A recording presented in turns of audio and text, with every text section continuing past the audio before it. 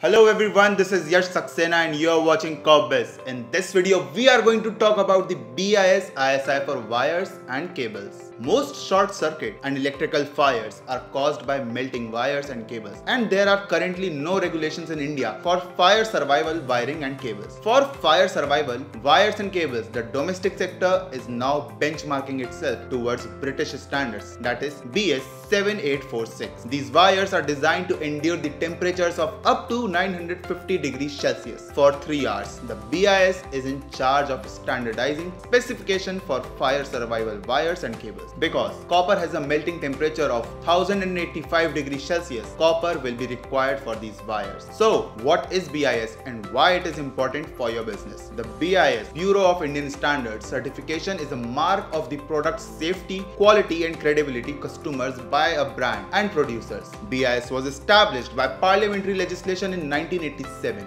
BIS is also involved in testing, product certification, hallmarking, calibration schemes, standard creation and other operations.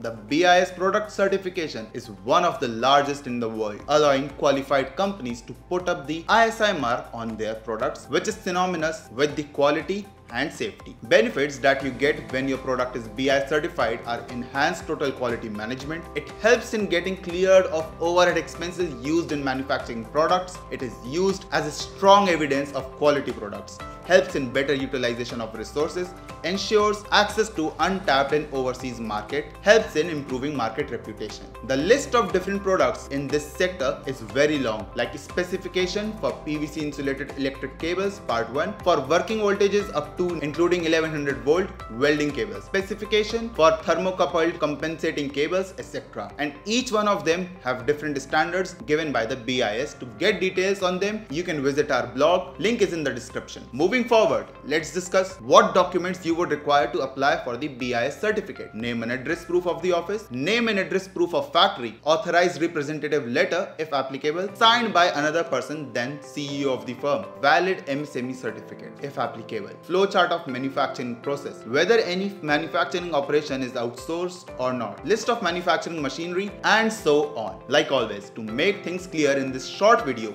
we have divided the procedure into few simple steps for better understanding. First is fill out an application form. The application form must be filled out and submit all the essential documents and pay reasonable fees for the process and testing of the product samples. Second, factory inspection will be conducted. After filling out the application form, the BIS officer and the inspection team will visit your factory premise to inspect the manufacturing process and production facilities and take the same product as a sample for the testing in their laboratories. Test of product samples. The test of the product samples is conducted in BIS authorized laboratory and check the quality and safety of the product as per Indian standards. Verification and review test report after the test procedure. The BIS official and inspection team will review the test report and verify all the documents documents. BIS ISI certification granted. If all the process goes well, the process will complete successfully. Then the BIS is granted and BIS ISI for wires and cables. Finally, if wires and cables producers is subject to the BIS conformity assessment scheme, they must receive